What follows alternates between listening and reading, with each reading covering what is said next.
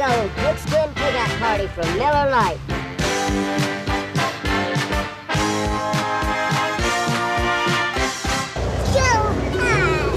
Go Pirates! One of the first things children in eastern North Carolina learn to say. But on a beautiful spring weekend at the home of East Carolina University's Pirates, a lot of people were saying, Go Pirates!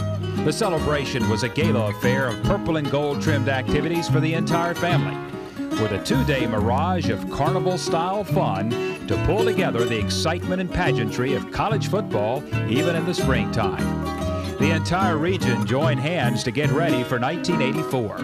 The community is truly made aware of why people are already flipping over the Pirates' attack that officially kicks off September 1. And now, if you will, join the Purple and Gold faithful, some 5,000 strong, in Miller Lite, as we stroll through two days of the great Pirate Purple Gold Pigskin Pig Out Party. Go Pirates! After a long night of cooking pig, these men still had their pirate spirit. They didn't realize it then, but later in the day, they would win the top prize in the pig cooking contest. Pig cooking is serious business in eastern North Carolina, an all-night affair. And when it's cooked, it's better known as a pig picking.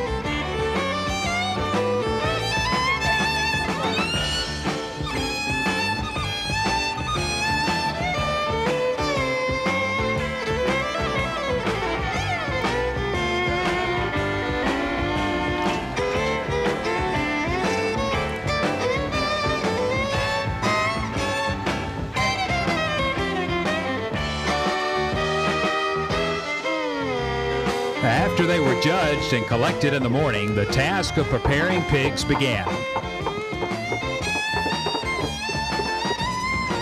25 pigs were consumed in six hours being sold by the plate. A similar scene occurs during the regular season with the Ain't It Great to Tailgate party. The carnival atmosphere continued throughout Saturday with Miller Lite All-Star L.C. Greenwood signing many autographs. And head coach Ed Emory also greeted future Pirate prospects. But it was the tug-of-war between the Pirate football team and Old Bessie that was the big treat.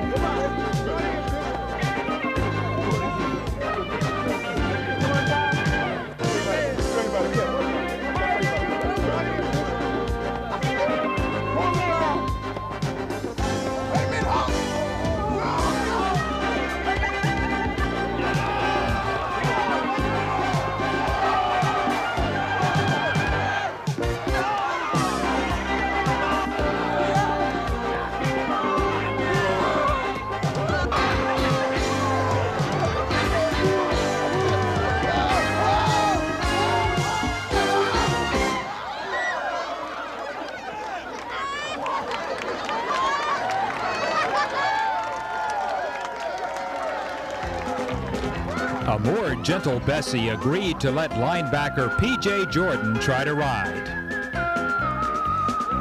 But quickly, P.J. is off of old Bessie.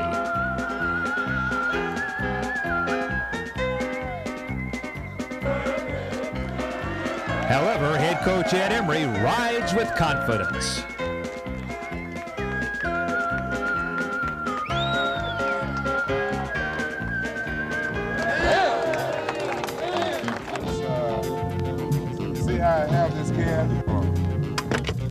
The popular Miller Lite can crushing contest also came to East Carolina with L.C. Greenwood.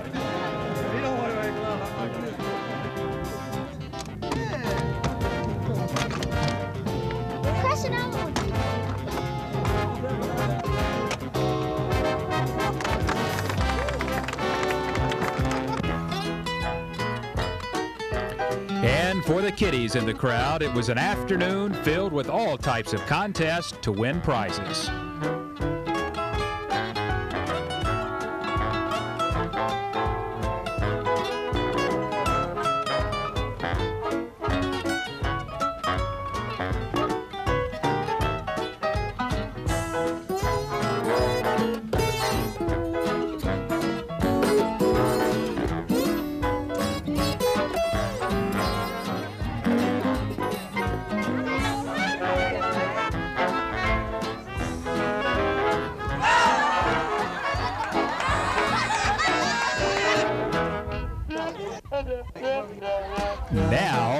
Watch these young ladies.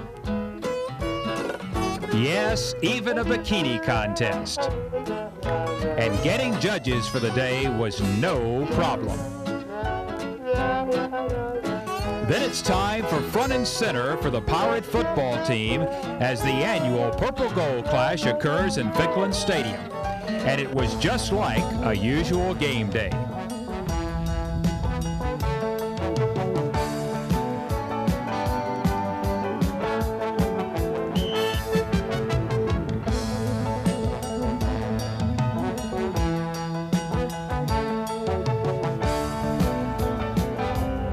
Even the radio network was on the air throughout eastern North Carolina. Lost one up high, and he's got Amos Adams at the 30, 25. He'll take it all the way to score. Amos Adams with the big punt for the Purple, and we've got a tie football game. Coach Ed Emory and wife Nancy enjoyed an unusual press box seat for the day. And this spring game was complete with halftime entertainment.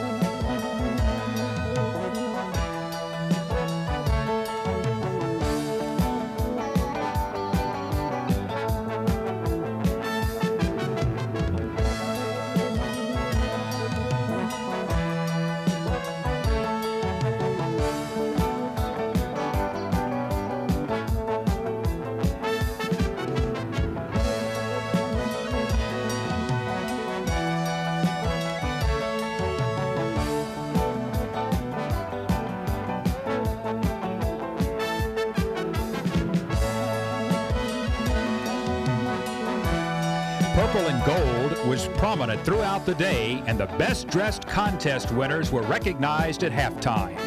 And halftime climaxed a two month contest in area elementary schools to secure an official name for the new ECU Pirate mascot. The contest reaped tremendous reactions from students and teachers alike.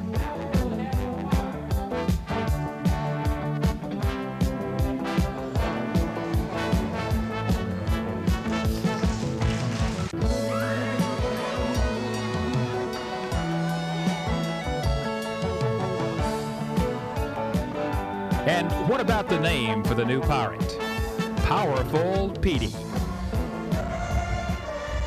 And perhaps fitting for the day, Coach Ed Emory celebrated his 46th birthday at halftime.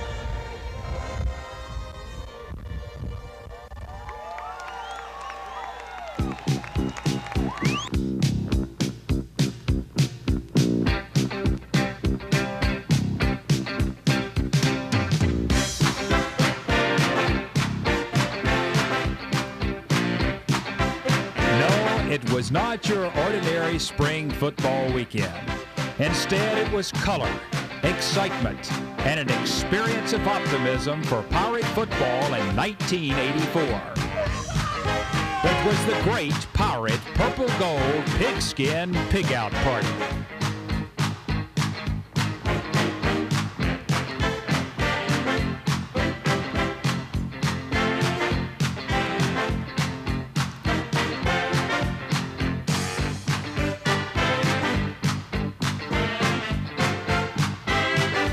It was an extravaganza that has everyone flipping over the Pirates' attack for 1984.